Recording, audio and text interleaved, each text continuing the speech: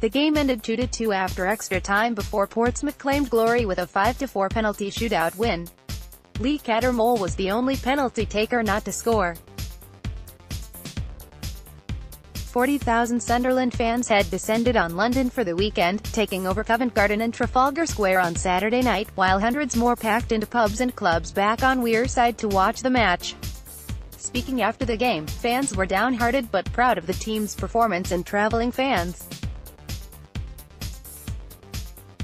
Kenny Dugdale said, It was a great turnout and all the supporters who made the trip have done us pro. Pal Ken Woodhouse said the lads paid the price for not pressing their advantage. The first half was fantastic, but in the second half, we let them back into it. Sunderland City Council leader Count Graham Miller said, Thanks to the team for getting us to Wembley again for another final.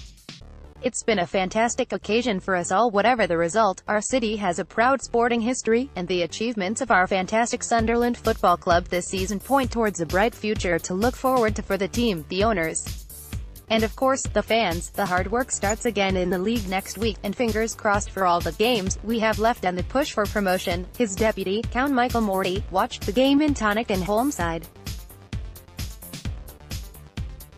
It is 1998 all over again, he said, I feel very emotional. For the team to lose at Wembley, I am absolutely gutted for them.